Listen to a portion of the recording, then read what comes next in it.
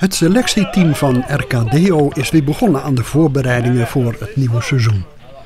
Het team gaat proberen om goede resultaten te behalen in de tweede klasse zondag.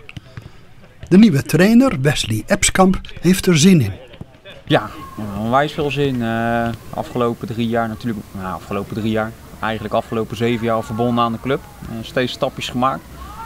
Vanaf de C1 toen nog, nu 15-1 uh, als hoofdjeugdopleiding verder gegroeid. Uh, 6 23 gehad, assistent eerste.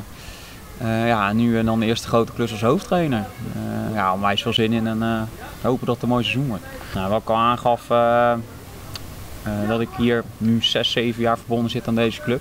Ja, en daarvoor ben ik eigenlijk bijna heel pijnlijk een nood op afgegaan. ik heb DSP-jeugd gehad als, als trainer, SV Noodop jeugd, DSC-jeugd, nog bij ADO stage gelopen in de jeugd. en bij DSC, ja, had ik die al gehad? Nee. Nee, daar ben ik ook nog geweest eigenlijk als jeugdtrainer. Ja, en daar kwam het plezier op een gegeven moment zo naar boven dat je op een gegeven moment de keuze maakt van joh, we gaan voor het trainingschap en het voetbal laten we heel even links liggen. Dat Epskamp nu trainer is van het eerste team heeft als gevolg dat hij zijn eigen broer in het elftal heeft. Die is keeper bij RKDO 1. Met, ja, met mijn broer, ja. Ja, dat komt nu toevallig zo uit. Ik heb hem toevallig drie jaar geleden in de A1 heb ik hem ook gehad. Uh, zijn we net niet gepromoveerd, heeft hij een fantastisch seizoen uh, gekiept. Uh, ja, dit seizoen heel eerlijk Dennis Hendricks, ex-keeper, 35 jaar, is naar Boshuizen vuist. die zou eigenlijk blijven. en dan was Gino eigenlijk als vorig jaar de tweede keeper en Hendricks de eerste keeper. Ja, nu is Hendricks weg en dan komt er een keeper van Luc Vuren komt door van de A1. Is nu geblesseerd, maar als hij fit is, ja, de beste gaat keeper. raar vind ik het niet wat ik aangeef. Ja, als je goed genoeg bent, dan ga je keeper. Uh, ze gaan het zelf uitmaken binnen een maand. We gaan het zien. Ik volg RKDO natuurlijk altijd al, want de jeugdspelers uh, die komen hier natuurlijk door. En ik was hoofdjeugdopleiding, dus dat is wel leuk om de jongens te volgen als ze in de senioren zitten. Ja, vorig seizoen, het eerste half jaar, heb ik het ietsje minder gevolgd. Met de jeugd bezig geweest. Ja, en op een gegeven moment hoor je dat het uh, Corné gaat stoppen. en dan, ja, dan word je zelf huidige hoofdtrainer voor het jaar erop. Ja, dan gaat het toch wel kriebelen en dan sta je toch vaker langs de lijn. Uh, ga je gesprekken voeren met spelers of ze blijven, uh, wat er beter kan, uh, et cetera, et cetera. Dus ja, ik heb ze na de laatste vier, vijf maanden intensief gevolgd, ja. Wat kan er dan beter volgens u? Dan wat er beter kan. Meer na vorig jaar, nee, laat ik zo zeggen. Nou, beter is een groot woord. Kijk, elke trainer is anders. kijk, ik wil de jongens wil ik ontwikkelen. en ik wil aanvallend voetbal spelen. En kijk, Corné traint, ik train, Ron traint. Uh, het zijn allemaal trainers uh, en iedereen heeft zijn eigen visie daarop. Uh, wat er beter kan, dat moet je aan de jongens zelf vragen, daar kan ik niet op beantwoorden. En ik hoop dat ze dit jaar een goede ontwikkeling gaan doorstaan. dat is mijn doelstelling. Oké, okay, wat gaan we doen? Drie verschillende trap, alles vier minuten. En we draaien gewoon door naar vier minuten. Oefening 1.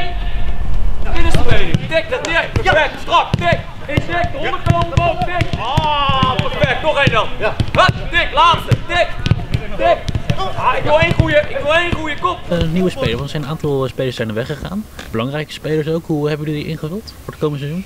Ja, ja nee, in totaal uh, was dat wel heel even schrikken. Er zijn 16 spelers vertrokken. Uh, waarbij 7 van de, ja, het huidige eerste. Uh, nou, RKDO staat bekend namens een jeugd dat heel veel jongens snel kunnen doorstromen naar het eerste en tweede elftal. Nou, we zijn blij en trots dat daar 7 jongens ja, doorstromen. Uh, en die hier dan in de selectie komen te spelen. Maar ja, dat houdt nog wel in dat je die andere, dat andere gat moet uh, vullen.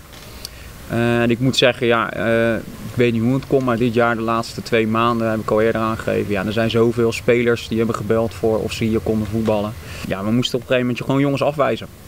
Ik denk toch dat omdat het zaterdag zondag voetbal ook uh, geëvalueerd is. Uh, heel veel clubs zaten te twijfelen om van zondag naar zaterdag te gaan. Uh, sommige jongens die werken op zaterdag en die moeten dan op zondag blijven voetballen. Ja, en ik denk dat daar ook een stukje animo vandaan komt. en dat RKDO in de trek is, ja, het is een gezonde club. het hoofdveld ziet er goed uit. De tweede klas zondag is een redelijk niveau. ik denk dat het heel aantrekkelijk is voor de meesten. En qua jeugdspelers, is de bedoeling dat ook heel veel gaan doorbreken hier? Of? komende seizoen dat we mee gaan trainen. En... ja, of ze gaan doorbreken, dat uh, moeten ze natuurlijk zelf uh, uh, doen. ik hoop dat ze alle, alle zeven in de basis komen te staan. Want het houdt in dat ze ja, goed genoeg zijn of beter dan andere jongens. maar ja, heel eerlijk, zelf ook uit ervaring weet ik dat ja, vanaf de jeugd in één keer door in het eerste helft aan een senior, dat is een hele grote stap. Ups en downs gaan ze dit jaar beleven. en wat ik zei, ja, ik hoop zoveel mogelijk. Nou, ik heb niet een specifieke doelstelling met van joh, ik moet periode worden. van de club ook niet meegekregen. wij willen een stabiele eerste klasse worden op een gegeven moment. nou, dat is nog ver verwijderd vind ik. Maar ik wil eigenlijk weer meer publiek hier krijgen om ja, door middel van aantrekkelijk voetbal te spelen. En echt gewoon van opbouwen naar achter dat eigenlijk RKD weer op de kaart komt. En dat het publiek het leuk vindt om hier te komen om ons voetbal te, te kijken. Ja, en daaruit de ontwikkeling van de spelers centraal zetten. En dat ze eigenlijk daaruit doorgroeien. En hopen dat dat ook op de ranglijst te zien is dat we daar nog mee gaan doen. En als jullie kunnen promoveren dit seizoen? Nee, is veel te ver vooruit kijken. Ik had toevallig een stukje in de krant gelezen dat uh, iedereen uh, Erkedeo uh, en Olivio tippen als, als kampioen. Maar nee, ik heb deze competitie gezien. Er zitten sterkere tegenstanders in. wij moeten helemaal op nul beginnen. Wat je zei, veel nieuwe jongens bijgekomen. Ja, je kan pas over twee, drie maanden uh, kijken van hoe sterk zijn we nou daadwerkelijk, uh, hoe sterk zijn de tegenstanders geworden. En dan eventueel na de winterstop februari wil ik pas uh, gaan nadenken over eventueel een promotie, maar eerder echt niet.